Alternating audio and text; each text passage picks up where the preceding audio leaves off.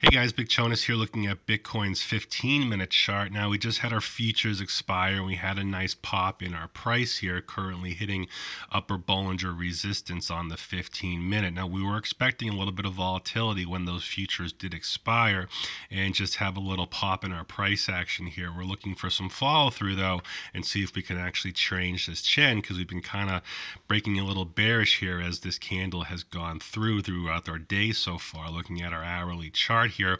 Our Bollingers are definitely starting to get a lot tighter again. Remember back here they were pretty tight and that brought on this little bit of a larger move here. We got wider.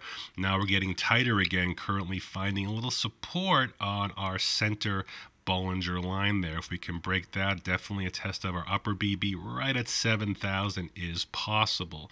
Looking here on our four hour chart, we actually see our BBs are still pretty wide, relatively speaking, not as wide as we had been here, and currently finding pretty strong resistance on our middle Bollinger as we were unable to break through here, here, here, and currently another four hour candle where we're holding resistance under our middle Bollinger there.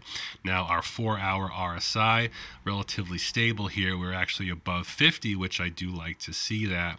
Our stochastics here has moved up bullishly but currently looks like it could potentially cross bearish here again in this area here which we seems to have a little chop when we actually try and move higher there. And our MACD is still crossing bearishly even though we're trying to tighten up our indicators here.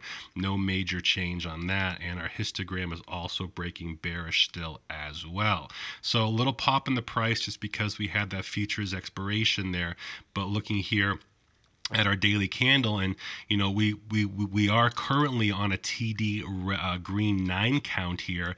Even though we've had these red candles in a row we are above four candles back as we count backwards here. So we are finishing up a 9 candle today.